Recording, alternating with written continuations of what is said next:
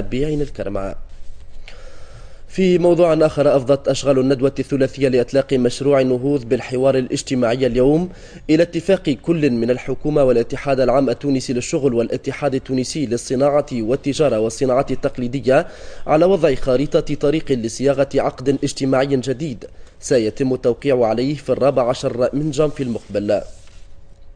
إحداث لجان فرعية تضم ممثلين عن المنظمة الشغيلة ومنظمة الأعراف والحكومة تعمل على صياغة توطئة شاملة تتضمن أهداف العقد الاجتماعي ومحاوره. هي من بين البنود التي تم الاتفاق عليها في اختتام أشغال الندوة الثلاثية لإطلاق مشروع النهوض بالحوار الاجتماعي. الأطراف الاجتماعية باش تتحاور فيما بينها حول بعض المحاور ستة محاور ومن محاور مهمة لأنهم يهموا التشغيل وسياسة التشغيل والتكوين المهني الشغل اللاق التغطية الاجتماعية التنمية الجهوية محاور أخرى كذلك معناها مهمة اللي تمثل معناها أهم الإشكاليات المجتمعية المطروحة اليوم. تم الاتفاق على عقد جلسة عمل كل شهر بين الأطراف الاجتماعية وبرعاية كما قلت من المكتب الدولي للشغل ونأمل من هنا حتى رأس العام باش إن شاء الله معناها نتوصل إلى عقد اجتماعي نهائي. الحرص على تنفيذ بنود العقد الاجتماعي سيكون عبر إحداث مجلس وطني للعقد الاجتماعي. وضع مجلس وطني للعقد الاجتماعي وتكون التركيبة نتاعو بطبيعة الحال ثلاثية وهذه التركيبة هذه مش تنظر في اولا العقد ككل بالبنود نتاعو تطوير العقد هذا مع التحويلات الاقتصادية والاجتماعية اللي مش نعرفوهم بقدر ربي ايجابيه إن شاء الله وأيضا ما نقولش رقابة ولكن الحرص على تطبيق كل البنود. ومن المنتظر انعقاد أول اجتماع لفريق العمل في نهاية جوان بدعوة من الاتحاد العام التونسي للشغل. وللحديث بشأن هذا الموضوع يحضر معنا في الاستوديو الخبير الاقتصادي بوجمع الرميلي. مساء الخير سيد بوجمع. اذا تم الاتفاق على تأسيس عقد اجتماعي بين الحكومة واتحاد الشغل ومنظمة الأعراف. أه، أه، هل يعتبر هذا هذا هو يعني الحل في هذه المرحلة؟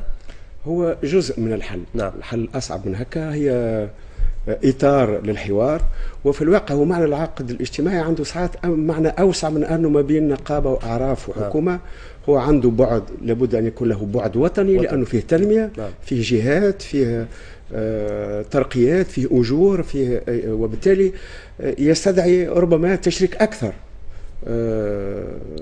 أطراف أخرى حزبية سياسية جمعياتية حتى يتوسع الحوار وحتى آه، آه، يقع تعميم الفائدة كما يقال. نعم. في انتظار الإمضاء على هذا العقد في الرابع عشر من جان في المقبل. يعني هذه الفترة كيف سيتم التعامل إزاء الوضعيات الاجتماعية الموجودة؟ يعني في ظرف ستة أشهر كيف سيتم التعامل مع هذه الوضعيات؟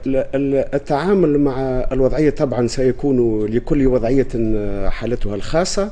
والمطلوب من هذا الشروع في الحوار هو أنه آه، تحسين الظرف العام للحوار لأنه تو الحوار إيش معناه؟ يعني تو كل واحد يطلب من شيرته نعم. وثم اللي يقول لك ثم إمكانية توا إمكانية بعد الاخره هالمعطيات هذه كلها نشرع في تجميع أو يشرع هؤلاء المشاركون في الحوار في تجميعها وفي تنسيقها وفي النظر في في ما آه إمكانية أن ترتيبها مع بعضها ولكن آه مش معناها انتهت المطالب وانتهت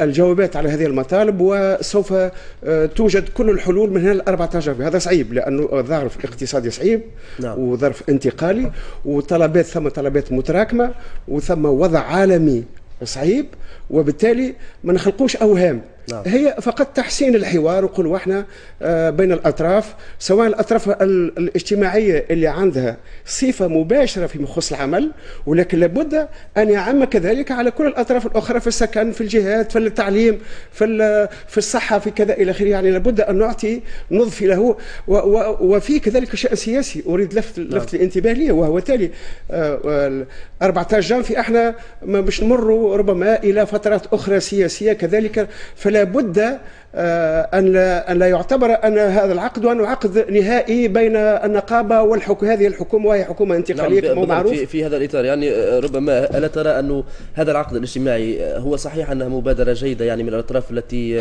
جيدة. ستمضي على العقد الاجتماعي في الرابع عشر من جانفي المقبل ولكن ألا ترى أنه يجب أن يشمل أكثر فئات المجتمع المدني وكل الأطراف الفاعلة في في المجتمع التونسي ليكون ليكون عقد اجتماعي وطني يعني. هذا ضروري نعم. هو اسمه اجتماعي ولكن في الواقع وطني وبالتالي لابد من تشريك. أوسع الأطراف. اللهم نسميه عقد مربوط بالعمل وبس. هذاك موضوع آخر.